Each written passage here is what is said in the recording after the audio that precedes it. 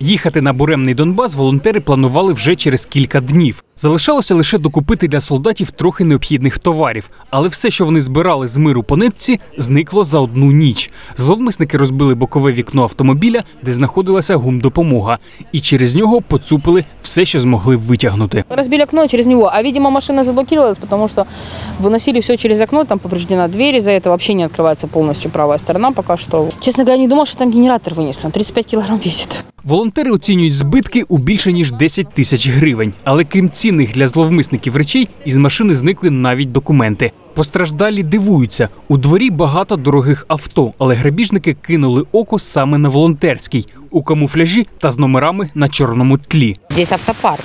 Тут одна магнитола с крутой тачки стоит больше, чем это все. Но при этом это все равно волонтерская машина, ее открыли. Грабіжникам за такі діяння загрожує до трьох років позбавлення волі, кажуть у міліції. Был собран материал. На сегодняшний момент он зарегистрирован в журнал единого учета. Я думаю, что уже к вечеру будет открыто уголовное производство по признакам части 1 статьи 80 185 Уголовного кодекса Украины. Это кража. Керівники одного з автосалонів міста пообіцяли частково взяти на себе ремонт волонтерської машини, усунути всі механічні пошкодження, крім вибитого скла. Сергій Філіпов, Володимир Позняк, Макс Бодріченко. Новини 9 каналу.